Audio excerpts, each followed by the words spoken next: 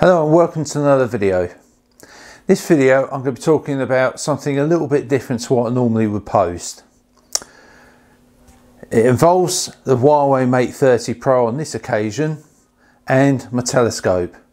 Now if you follow me on any of my social media channels you'll see uh, on Twitter, on uh, Instagram, I'll leave links to those down below, you can check those out. I've got some photographs of the moon, uh, Jupiter, Saturn, things like that. Astronomical objects, um, something that smartphones aren't really designed to uh, take photographs of. And that's one of the things I like about the Huawei phones is the camera app on it is really good. Um, really easy to adjust ISO settings, all that sort of thing. Now at this time of year, we've only got the moon and Venus up at the moment. This is April 2020, depending on when you're watching the video. But later on in the year, I'm probably going to do a follow-up video with the likes of Saturn, Jupiter, that sort of thing, and see if we can get Mars as well. So I'm going to run you through my uh, telescope in a moment. So obviously the Mate 30 Pro, for purposes of what I'm going to be using it for, I'm just using the primary sensor for this.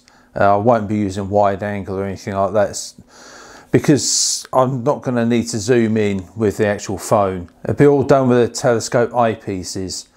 So I'll show you those in a bit and show you which one, a couple of my favourites. So let's go through the telescope quickly.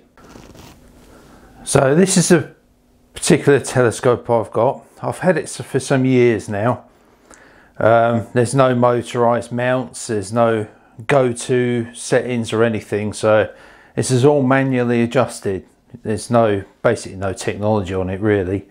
Um, it's a Skywatcher Skyliner 250p. So it's quite a large telescope. Um, and it serves me really well actually for finding the uh, the objects in the night sky. It's brilliant for it. It's also quite cheap. It's one of the cheapest large telescopes you can get on the market really and it's a it's quite a good one as well. Um, it's a Dobson it's what we call a Dobsonian telescope for those that don't know. And uh, basically as you I'll demonstrate you have to manually adjust it move it round. Uh, your eyepieces go in here. You've got your little finder scope up the top here. And basically uh, when you pop your eyepieces, they go in there and I'll show you the uh, adapter that I use for the smartphone. As you can see, it's just a big hollow tube with a with a mirror right down the bottom and a mirror right at the top. Basically, it's a big light bucket. Light comes in here, goes down to the bottom, gets reflected back up to a small mirror here, and that's at an angle to pass the light straight through to this uh, point here where the eyepieces go. So first of all, we've got the, the finder scope. We line that up. You've got some crosshairs in there, which you can't quite see on this occasion. Next, I'm going to put in what we call a Barlow uh, lens. It will double the magnification power of the eyepiece. Uh, it's an all metal construction. Uh, it's all hollow at the top so you can put your eyepiece in the top there and uh, some lenses going at the bottom. You can actually fit filters in these. Uh, the lens I'm using for this is this particular one. Um, this what we call a long eye eye relief, I think they call it. Um, six and a half, 6.5, 76 degree one. Um, they're not the most expensive lenses, but again, all metal construction, excellent, really. I love them. Uh, obviously the phone we're going to next uh, put that into the actual uh, adapter mount to actually fix the to the telescope. The one I'm using is just Orion SteadyPix. Um, it's just a plastic construction well it's not very expensive. Making sure to keep the power button or any volume buttons away from the actual clamp. Otherwise you will get problems with it. I find you don't want to over tighten these just making sure they're tight enough. Uh, actually lining up the lens really straightforward and easy. And as you can see all nice and steady. So all, all, all lines up nicely. It's all spot on ready to go onto the actual telescope. The way you do it it's got some, three little paddles inside that clamp on the end of the eyepiece. This tightens it up. I find you don't want to over tighten this being plastic construction it's not the best but it does seem to hold on fairly steadily making sure it's tightened up nice and steady. It shouldn't fall off. I haven't had it fall off yet but uh, the actual setup it looks quite long but in order to be able to get the magnification you need need a good amount of kit so it's actually quite heavy on the uh, telescope. So I've got to make sure that the telescope's well balanced for it. So as you can see with the planet Venus we're going to start with it's really bright in the sky. So it's just a matter of adjusting the ISO initially to start with. I usually set it on about 50 uh, on this particular phone. And it's just play about with it. Shutter speed I find it depends on the viewing conditions but shutter speed you can you can play about with that and you get just the right shot. Video same sort of thing really. Um, adjust the ISO and really for me I find just adjusting the ISO a little bit it, that's all I really need to do to be honest with you. Seems to work all right. So one of the other things you're definitely going to need is some sort of trigger for your camera. Now you can uh, you can set your camera up so it takes a photograph with uh, with a voice prompt. I find sometimes, depending on the phone itself, it can be a bit finicky. And with a telescope like this, especially at magnifications, if you don't get it spot on first time, you miss that chance. You've got to set it up again. Um, so what I use is a Bluetooth trigger. Now for this one I've got one of these Blitzwolf uh, selfie stick things, extendable selfie stick. Um, but one thing it's got is a Bluetooth trigger, if I can, which comes off. Pair up your Bluetooth, pair up your phone's Bluetooth. That way you can set it up, leave the telescope alone, don't touch it, it stops wobbling you press the button and it takes a photograph. But I mean there's loads of different types of Bluetooth triggers you can get. So this just happens to be one I have lying around which I use. And the other reason why I like it it's so small I can stick it in my pocket. This one I find works really well. Right in these images all I've done is just compiled a little thing just how it all goes.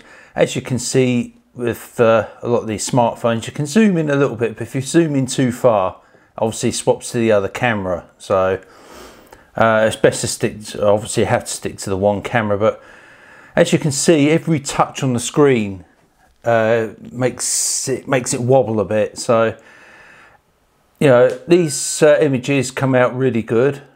Uh, it's fairly clear that night and these are unedited images so this is straight from the phone. And I think they come out once they've edited you can sharpen them up they come out really nicely then a few shots of the moon um, as you can see I can get in really close. I can actually get in close with a different lens but the, the camera on the phone doesn't uh, it, it takes a bit of work to try and get that to actually work. But as you can see you can get some good close-ups with the actual moon. And so you can see quite a lot of detail actually. Uh, we've got some images coming up of the actual night. Um, I'll just start off maybe with a couple, uh, unedited again, um, and they come out really nicely. And I've got a couple I'll stick in at right the end here. I have edited these on Lightroom, and the detail that comes out, sorry, not Lightroom, I've actually edited them on the phone. Right, so the actual editing software on this phone is actually quite good um, and they I don't have anything special on this one you can get some more specialized apps um, and the camera's already pretty good to be honest with you you go into the pro settings and you can fiddle about as much as you want with these Huawei phones previous phone I was using was the uh, P30 Pro. Excellent cameras, really are. But one thing I didn't mention on the actual uh, before when I was setting it up, take the case off of it.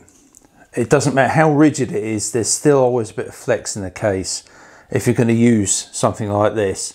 You want it to be a nice steady firm grip. Let's be honest, it's not a cheap phone. It's quite expensive.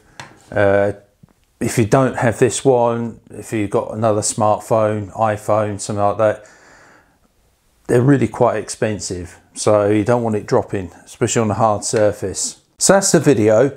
Um, this is basic for the people, uh, some people that wanted to know how to go about it and they're just generally interested. So I thought, ah, why not do a video? I'll do another video later on in the year when you've got Mars, Saturn, Jupiter, that sort of thing up in the air, up, up in the air, right? up in the sky.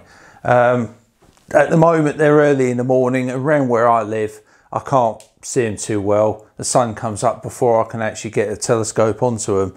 So a little bit later on in the year, they'll be higher up in the sky, night sky, that sort of thing. So hopefully, get some good views then. Um, the telescope, if you've got any questions about it, I'm not a massive astronomy technical person, so if you've got any questions, I could probably provide a couple of links um, if you've got any specific questions or whatever. Uh, if you're thinking about getting one, you don't have to get something this size. Um, I only got it because I just, at the time it was quite a good deal, so I thought, mm, I might as well get that one. The uh, This size of telescope tends to be really quite heavy uh, to try and move around. So if you wanted something a bit more portable, particularly if you've got to keep it in a, another room in the house upstairs. This sort of thing's quite a bolt to keep moving around. You can take them apart, but even so, uh, you can get the smaller versions of these Skywatcher Skyliners. Excellent prices. You can still get great views, it work equally as well. Obviously, the bigger the telescope, the more light you're getting, the more information you're getting out of the light sky. But I mean, for what I'm doing, that's perfectly fine. If you want to get more into astrophotography, you obviously want something that's got a go-to mount, it's motorized, equatorial mount telescope, it's on a tripod, that sort of thing. As I say, if you've got any specific questions, I can put links to where you can get information in the comments. But there's also a couple of websites that you can go on. I'll probably put a link down to one specific one, which he has a mine of information on there. So that's it for this video. As I say, if I didn't say before, please like, share and subscribe. If you want more of these videos, let me know. Um, if you're going to get cheap telescope, get some decent lenses. But like I say, if you have a chat with a decent astronomy centre, they can give you loads of advice on that. So that's it for now. Thank you for watching. Hope to see you again soon.